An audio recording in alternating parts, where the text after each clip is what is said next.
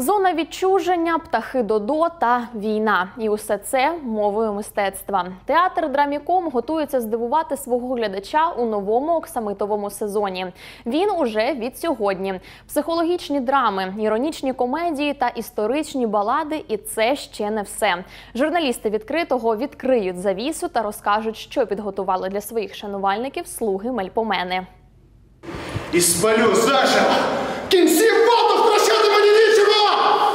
Від кольору світла та антуражу мурахи шкірою. Та тут і не місце для відпочинку, адже саме зараз ми у зоні відчуження ЧАЕС. А я не прощаю ніколи.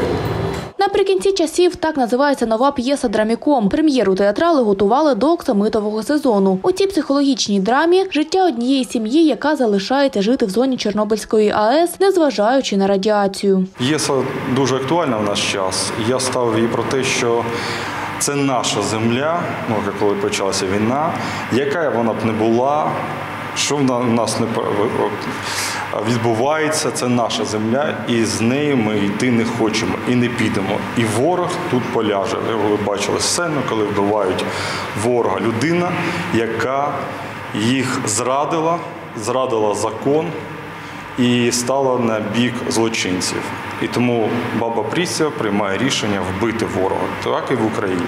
Бездіяльність то найбільший гріх, головний меседж п'єси, який доносить головна героїня. А це, до речі, і вона, точніше, він. Роль баби Прісі дісталася народному артисту України Віктору Гунькіну. Не дуже тяжко е, зробити цей образ. Дуже важко вийти з нього, коли відіграєш виставу, а потім заходиш в гримерку. Ну, два дні тебе потім колоти колбаси. Тому що ти не можеш прийти до пам'яті, тому що ти віддав скільки енергії, скільки сили, що треба якийсь час для того, щоб відновитися.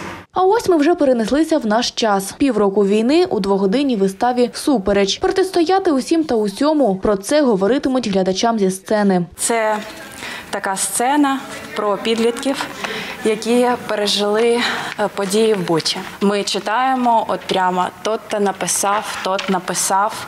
І от як вони все це переживали, і що їм казали вчителі, батьки, і як вони спілкуються між собою, е, і що вони відчувають. Театральне дійство на великій сцені. 15 акторів у новому історичному форматі з елементами пластики розповідатимуть про сучасні події України. Це не про танці, це не про хореографію, а це саме про гармонійний, емоційний і усвідомлений рух, який е, притаманний кожному з нас в повсякденному житті.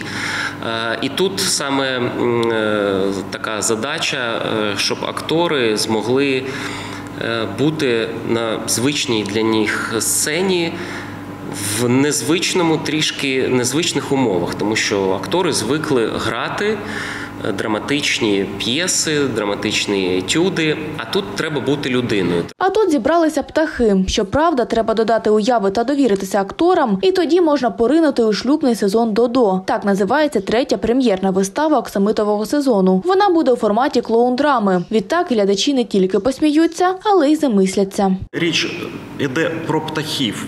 Дуже е, простий сюжет. Птахи хочуть завести собі маленьке пташенятко, у них ніяк не виходить. Сезон шлюбний, чи воно народиться, чи ні. В цьому інтрига.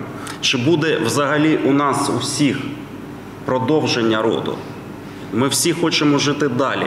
І тому так чи інакше, можливо, весь, ви знаєте, весь сезон, весь рік, от всі прем'єри з різних кутів дивляться на, на це питання.